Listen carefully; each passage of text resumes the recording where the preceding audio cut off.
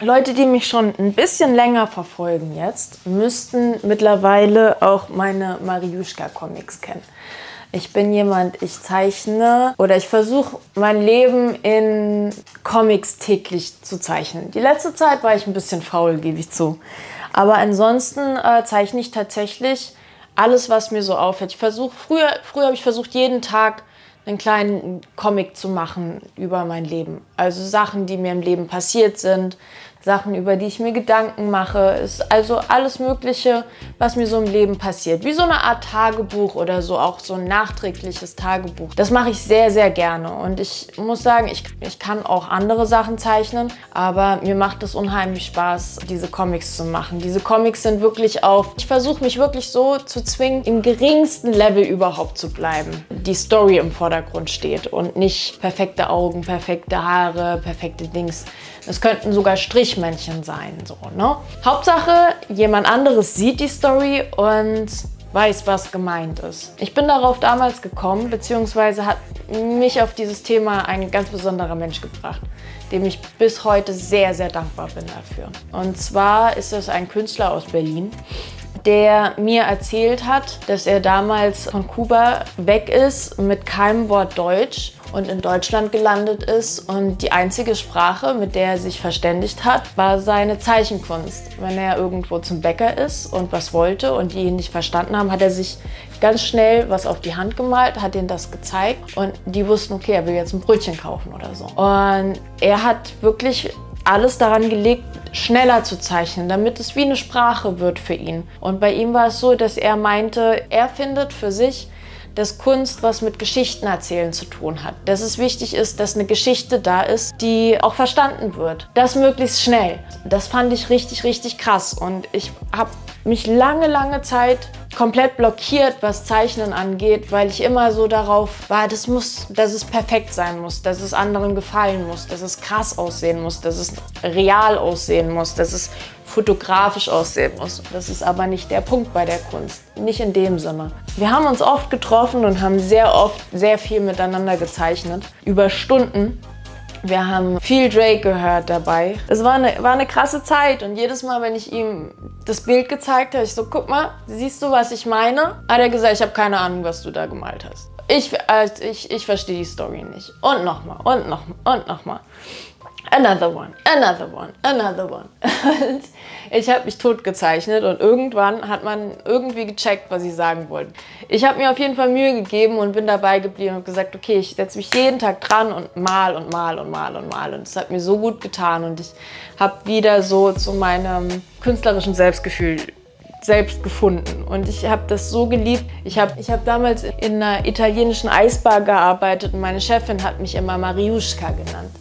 Und dann war klar, dass der, die Seite des Comics Life of Mariuszka hieß. Damals sein Name war Life of. Also habe ich gedacht, okay, er ist mein größtes Vorbild, also Life of Mariuszka. Ein bisschen später, immer noch einer meiner besten Freunde hat mich damals auf einen YouTuber gebracht. Und dieser YouTuber hat eine Mischung aus Animation und Vlogging gemacht. Und es hat Boom gemacht. Und ab dem Moment war klar, ey, ich kann YouTube-Videos machen, ich kann quatschen und ich kann eventuell auch noch Mariuszka ins Leben rufen und dachte, das ist das perfekte Paar. Ich will auch sowas machen wie er. Ich will auch diese Art von Animation lernen, diese meine Bilder mit reinbringen, Mariuszka mit reinbringen diese Zusammenführung von Marie im realen Leben und Mariuszka, Maries gezeichnetes Leben zusammenbringen, das war so, das will ich machen. Darauf habe ich richtig Bock, so. Weil die Frage war, ich hätte Bock, YouTube zu machen, aber was habe ich Bock auf lange Zeit zu machen? Was macht mir auf lange Zeit Spaß? Was kann ich auf lange Zeit machen? Und auf einmal war es da. So, bring Mariuszka und Marie-Dominique zusammen und mach das. Der Wille war gefasst und los ging's. Ich habe mir äh, versucht, Animation beizubringen, alles Mögliche beizubringen. Und ich bin daran frustriert. Ich versuche jetzt seit über Jahren ein Video hochzuladen, wo ich meine Zeichnungen zusammen mit meinem Gequatsche hochbringe.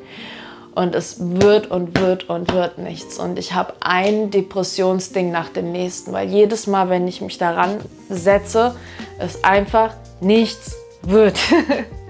ich versuche Animation und es wird nichts. Ich, ich sitze stundenlang dran, gucke, wie Leute reden und es wird nichts. Und ich schaffe es einfach nicht abzuladen und ein Video daraus zu machen. Und es deprimiert mich so hart und es macht mich emotional so fertig. Genau an diesem Punkt bin ich jetzt gerade wieder. Damals war es so, dass ich wirklich mir diesen YouTuber angeguckt habe und gesagt habe, wow, da willst du hin. Das ist dein Vorbild, da willst du hin. Ich habe seine Videos so oft gesehen, habe hab mir YouTube durchgeforscht, wie ich Animationen lerne, wie ich das am besten hinbekomme.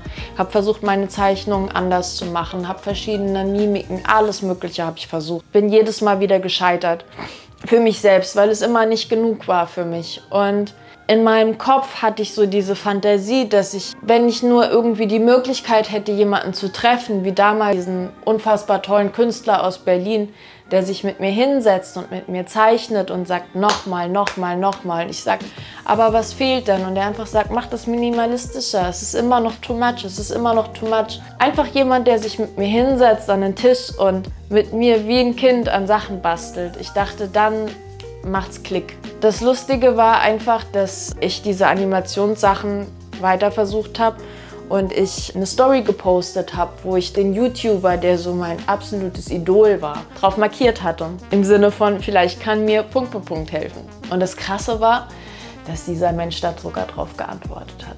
Und ich bin ausgerastet. Ich dachte, ich dachte, mein Herz explodiert. Ich wusste, ich dachte, das ist der Key. Jetzt hast du einen Menschen, wenn er dir helfen kann. Wenn er dir nicht helfen kann, dann kann dir keiner helfen. Wir sind in Kontakt getreten, ich habe öfter mit ihm geschrieben. Irgendwann kam dann dieses, war das so, dass er eine Story von Puerto Rico hochgeladen hat. Und ich so, wow, das sieht so schön aus, das Meer ist so wunderschön.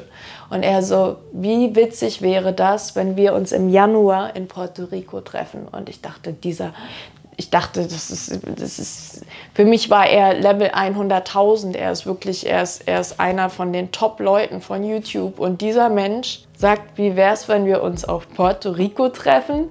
Ich bin aus allen Wolken gefallen, Leute. Ihr könnt euch das nicht vorstellen. Mein größtes Idol gibt mir die Möglichkeit, ihn zu treffen, privat.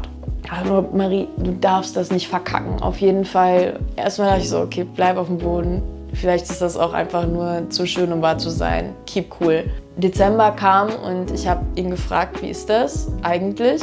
Und er so, ey, ja, komm nach Amerika, besuch mich und lass uns kennenlernen, lass uns treffen. Und ich dachte, ich werde nicht mehr. Ich habe geguckt, dass ich alle Hebel in Bewegung setze, um nach Amerika zu kommen, um diesen einen Menschen, auch wenn es nur kurz Hallo ist, einfach kennenzulernen. Das war der Grund, warum ich nach Amerika bin. Und ich saß da und dachte, jetzt, jetzt wird was Krasses passieren. So, ich habe gedacht, jetzt kommt der Moment, wo du jemanden besuchst und ihr könnt euch hinsetzen wie kleine Kinder und den ganzen Tag einfach nur zeichnen und animieren und Videos aufnehmen und schrauben. Jetzt hast du, jetzt, jetzt triffst du dein Idol, mit dem du dich hinsetzen kannst und lernen kannst. Ich dachte wirklich, ich gehe da hin und wir, wie ein kleines Kind und wir zeichnen den ganzen Tag. Und bin dann dahin und das war es dann aber nicht. Ich muss sagen, ey, ich liebe diesen Menschen. Ne?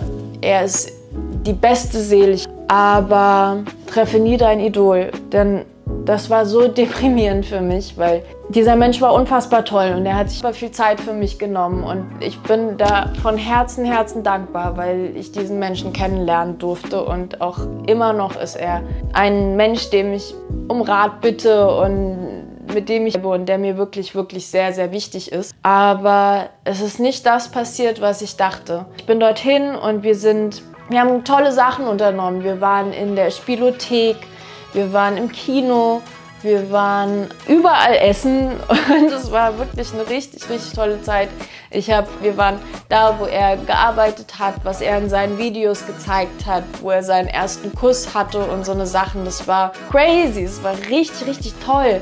Aber wir haben nicht einmal zusammen gezeichnet. Er hat mich gefragt, mit welchen Menschen, wenn ich mir aussuchen könnte, lebend oder tot, mit wem ich gern mal an einem Tisch sitzen wollen würde. Und ich habe gesagt, das ist so witzig, weil eigentlich ist er das so. Und er so, ja, und was, was, was, was würdest du, dann hast du jetzt die Möglichkeit, was würdest du fragen oder was, was fragst du?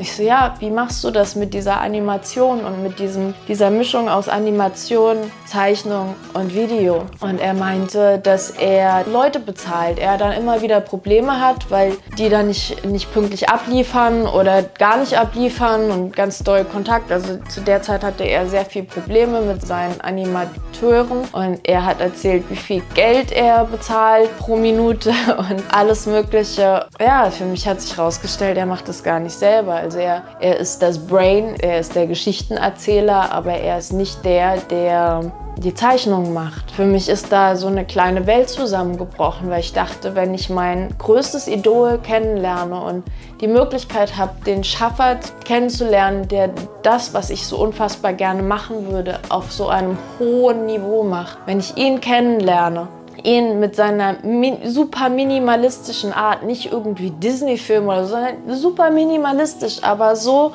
einfach zu verstehen, so unfassbar kreativ und gut und die, das Storytelling und alles. Und dann sagt er mir, dass er das gar nicht macht sondern er ist das Brain, er denkt sich die Story aus, er engagiert die Leute und erzählen denen, kann das irgendwie so weitergeben, dass sie da was draus machen. Aber das war für mich super enttäuschend. Das ist wichtig zu wissen, bevor man in das zweite Video reinsteigt, weil ich ab dem Moment, wo ich in Amerika angekommen bin, aufgehört habe zu filmen. Ich habe keine Stories mehr gemacht, ich habe nicht mehr gefilmt, weil es einfach so war, dass ja Amerika grau, also es war einfach alles immer grau. Das heißt, es war jetzt nicht futuristisch irgendwie schön, sondern es war einfach alles grau. Im Park war alles voll also ich hatte nicht das Gefühl, dass ich jetzt was filme, was so optisch wunderschön ist. Und das Zweite ist, ich war so dankbar, dass ich, dass jemand wie er sich Zeit für mich nimmt und die Zeit, die wir zusammen verbracht haben, war so schön, also so rein menschlich, weil er einfach dieselben Hobbys hat. Wir haben uns unfassbar gut verstanden, einfach unfassbar gut unterhalten. Also jetzt mal abgesehen davon, dass ich frustriert war von meinem Idol,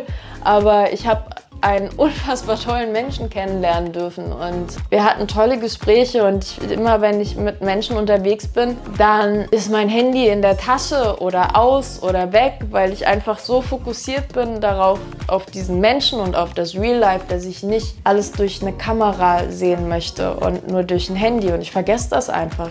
Das Lustige ist, ich hatte meine Kamera durchgehend dabei. Ich hatte durchgehend die Kamera, mit der ich jetzt gerade aufnehme, dabei. Ich hatte durchgehend mein Handy dabei. Aber ich habe es nicht einmal rausgeholt, weil ich einfach so mit ihm war und so neugierig war, was er erzählt. Ich wollte alles aufnehmen. Ich wollte wissen, ich wollte alles, alles einsaugen. Von Kopf bis Fuß wollte ich alles einsaugen. Und ich wollte, ich wusste, ich habe nur ein bis zwei Wochen mit diesem Menschen. Und ich weiß nicht, ob ich diesen Menschen jemals wieder in meinem Leben in Real Life sehen werde, weil es einfach so unfassbar teuer ist, nach Amerika nicht nur zu fliegen, sondern auch das Hotel und alles. Dass ich einfach diese zwei Wochen, die ich dort war, einfach nur genießen wollte. Und ich habe tatsächlich in Amerika auch gar nicht so viel gemacht. Ne? Ich war joggen, weil man unfassbar gut dort joggen konnte. Die Straßen waren glatt und weit. Ich habe mir ein neues Skateboard gekauft ich habe da so tolle Menschen auch kennengelernt, wo ich eigentlich noch ein anderes YouTube-Video drüber machen könnte, nur wegen diesen Menschen, die ich dort kennengelernt habe. In diesem Skate-Shop. Ich habe beim Flug allein eine tolle Frau kennengelernt, die auch eine Story für mich hatte. Also ich habe so viele Stories, die ich erzählen könnte über Amerika. Ja, ich habe tolle Stories, aber ich habe keine Bilder. Ich habe keine Videos, also so gut wie keine. Und das Einzige, was ich machen kann, ist zeichnen. Beziehungsweise ich habe Bilder von dort, also ich habe Bilder dort gezeichnet und jetzt bin ich gezwungen, Mariuszka mit nach Amerika zu nehmen. Und ich verzweifle schon den gesamten Tag daran. Ich versuch's. Drück mir die Daumen. Let's go. Everything is gonna be